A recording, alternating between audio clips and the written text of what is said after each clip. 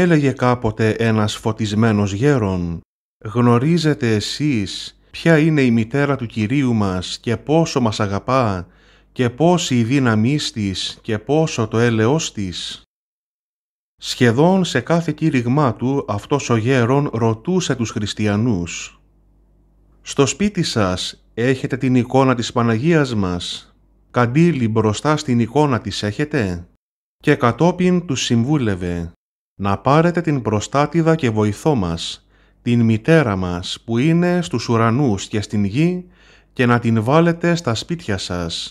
Αυτή είναι η βασίλισσα του ουρανού και της γης». Εάν θα πάρετε την προστάτηδά μας την Παναγία στα σπίτια σας και θα διαβάζετε κάθε πρωί με το καντήλι της αναμένο τους χαιρετισμούς της και το βράδυ να διαβάζετε την παράκλησή της και θα την έχετε βοηθό σε όλη τη ζωή σας, καθώς επίσης και τη στιγμή που θα βγει η ψυχή σας από το σώμα και επίσης στην ημέρα της κρίσεως, διότι η Παναγιά μας είναι ο δικηγόρος μας ενώπιον του Ιού και Θεού της. Γνωρίζετε πόσο μπορεί να βοηθήσει η Θεοτόκος μητέρα μας μπροστά στον θρόνο της Παναγίας Τριάδος; Εάν δεν υπήρχε η Θεοτόκος, πιστεύω ότι αυτός ο κόσμος θα είχε χαθεί από πολύ παλιότερα. Η Υπεραγία Θεοτόκος είναι η μητέρα μας, η οποία έχει πολύ μεγάλο έλεος για τους φτωχούς και τις χείρες, καθώς και για τους λοιπούς χριστιανούς πάντοτε προσεύχεται στον Σωτήρα Χριστό για όλους μας.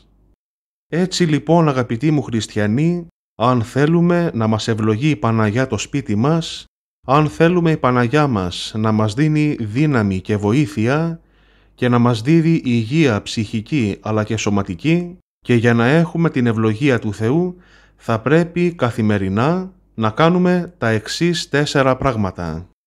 Πρώτον, στο σπίτι μας να υπάρχει η εικόνα του Χριστού, της Παναγιάς και του Αγίου Προστάτου του σπιτιού ή οποιονδήποτε άλλων Αγίων εσείς ευλαβείστε.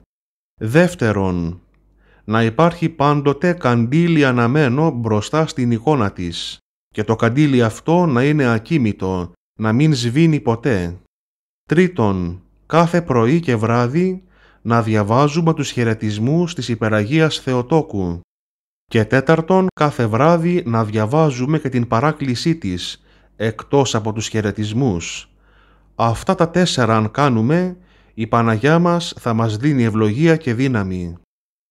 Τις ευλογίες της Υπεραγίας Θεοτόκου να έχουμε όλοι μας και να πρεσβεύει πάντοτε για μας ενώπιον του Ιού και Θεού της.